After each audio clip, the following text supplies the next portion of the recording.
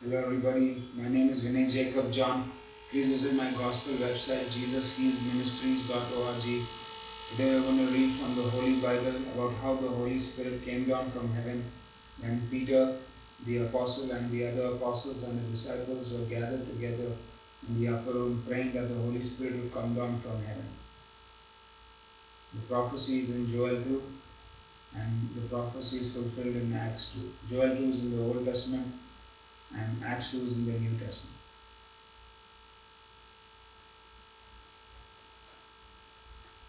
Joel chapter 2, verse 28. And it shall come to pass afterward, I will pour out my Holy Spirit upon all flesh, and your sons and your daughters shall prophesy, your old men shall dream dreams, your young men shall see visions. And upon the servants and upon the handmaids in those days will I pour out my Holy Spirit. And I will show wonders in the heavens and in the earth, blood and fire and pillars of smoke. The earth, the sun shall be turned into darkness and the moon into blood before the great and the terrible day of the Lord Jehovah Jesus, Holy Spirit, Jesus come. And it shall come to pass, whosoever shall call upon the name of the Lord Jesus Christ of Nazareth shall be delivered. For in Mount Zion, God's throne room, Mount Zion is God's throne and in Jerusalem, Jerusalem is God's holy city, shall be deliverance, as the Lord Jehovah Jesus, Holy Spirit, Jehovah has said. And in the remnant whom the Lord Jehovah Jesus, Holy Spirit, Jehovah shall call.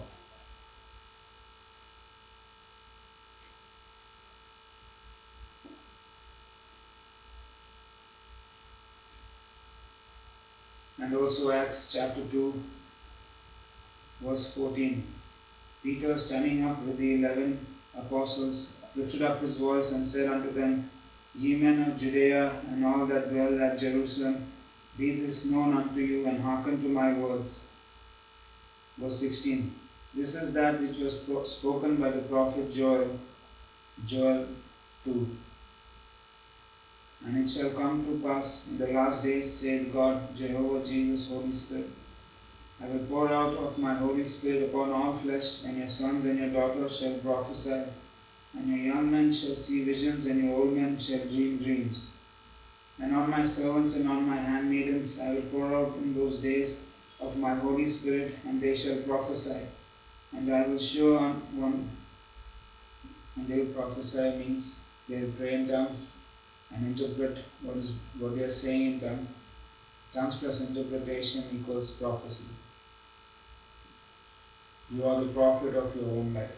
When you speak in tongues and you get an interpretation from Jesus, you are doing the will of Jesus because Jesus will tell you what to do. What Jesus says we will do, what Jesus sends us, we will do.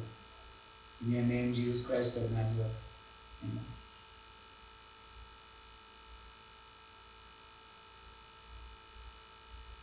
Verse 16.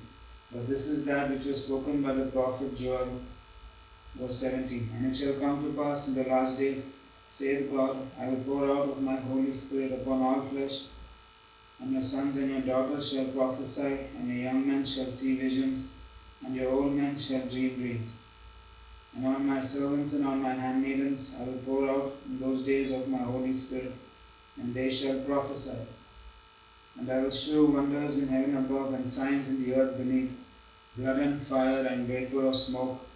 The sun shall be turned into darkness and the moon into blood before that great and notable day of the Lord Jehovah Jesus, Holy Spirit, Jesus comes.